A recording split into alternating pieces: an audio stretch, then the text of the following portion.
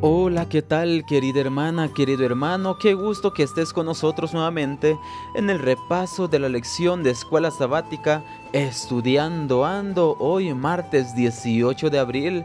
Tu amigo y pastor Obed Cruz Gómez te da la más cordial y calurosa bienvenida a nuestro estudio de hoy. Antes de iniciar, por favor te invito a que inclines tu rostro y vamos a buscar a Dios en oración. Oremos.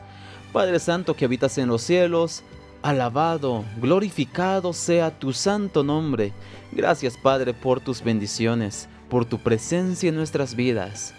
Rogamos en esos momentos que podamos escuchar tu voz, que al abrir tu palabra podamos rescatar lecciones prácticas para nuestra vida cotidiana y crecer más en ti.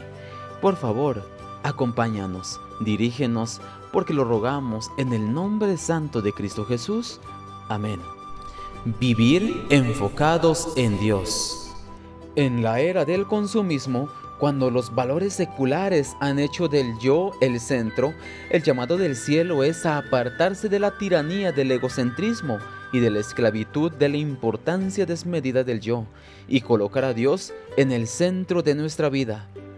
Para algunos, el dinero es el centro de su vida, para otros es el placer o el poder, para otros pueden ser los deportes y la música o el entretenimiento. El mensaje de Apocalipsis es un llamado claro a temer y respetar y honrar a Dios como el verdadero centro de la vida. Te invito a leer Mateo capítulo 6 versículo 33, Colosenses capítulo 3 versículos 1 y 2 y Hebreos capítulo 12 versículos 1 y 2. Responde la pregunta, ¿Qué nos dicen estos pasajes acerca de hacer de Dios el verdadero centro de nuestra vida?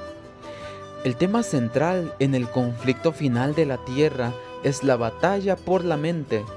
En realidad, es la batalla por la lealtad, la autoridad y el compromiso con la voluntad de Dios. La batalla final es el gran conflicto entre el bien y el mal. Es por el control de nuestros pensamientos. El apóstol Pablo nos da esta amonestación.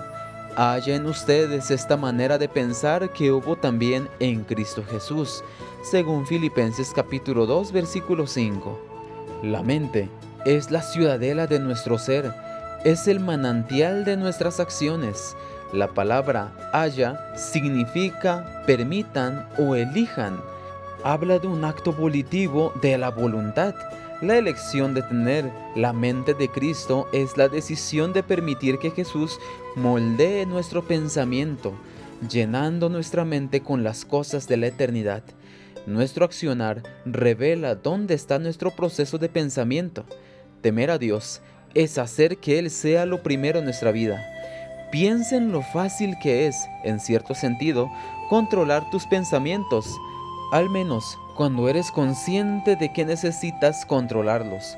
Comúnmente, el problema es que, a menos que hagamos un esfuerzo consciente para espaciarnos en las cosas correctas, las cosas de arriba, no en las de la tierra, nuestra mente, caída y pecaminosa, naturalmente tenderá hacia las cosas bajas, las cosas del mundo.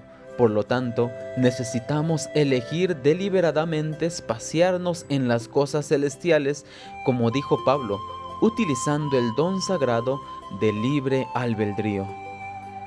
Por lo demás, hermanos, todo lo que es verdadero, todo lo honorable, todo lo justo, todo lo puro, todo lo amable, todo lo que es de buen nombre, si hay virtud alguna, si algo digno de alabanza, piensen en eso. ¿Cómo aprenderemos a hacer lo que Pablo nos dice aquí?